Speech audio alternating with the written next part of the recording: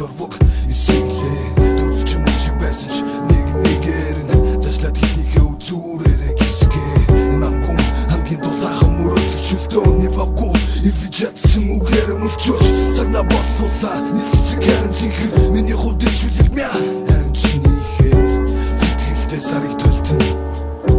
Мил мэд минь харанхуу хол байна тулгуур замыг болгож шүтэг шиг бүр дотоос тисхийн аргагүй болгож. Хүүтэн мөр амьсгал модноос навч сунган зам дээр нис чавхад гадаргуун амьс шүргэн түүний шинэ биш харин салхит эсвшээ түнрэг хөтөс алхмыг зогсож зөвхөн үнийг бичлээ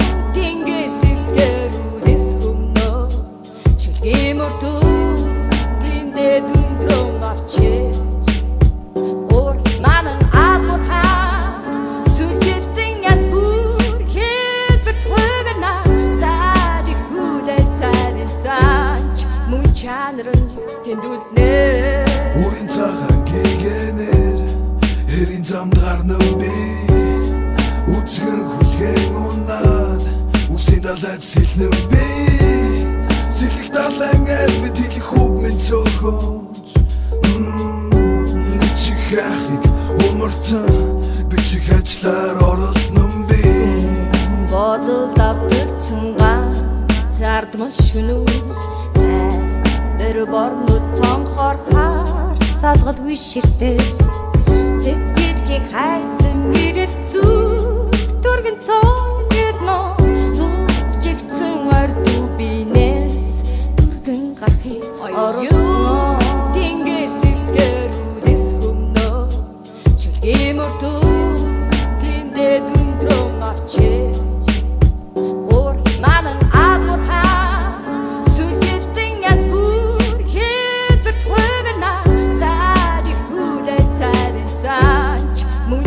чанарын тэндүүлнэ Хан тэнгэрийн гүммандаас харавж нэгэн од хайлын унахгүй харуулслын улимсанд сормоос живж хасаг тулганы татар даргва Ожимсандан живсэн сормоос нууртагаан хөлдсөн зэгс шиг аянсаг дарн доошоо бөхөхви алтан ургийн баг нь ганхах шиг болов алтан ургийн баг нэгэнт амин суурнаас сангагсан бол ахаад түүнийг бохлоо гэдэг алдуурсан бодлыг аргамжихын үлгэрээ.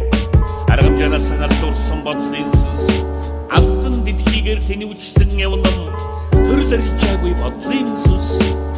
Төөрсөр яваад чамдээ тэнгэр сэрсгэр үдэс хүмнөө Шүлгэмөр түлгэндээ дүндрөн авчээ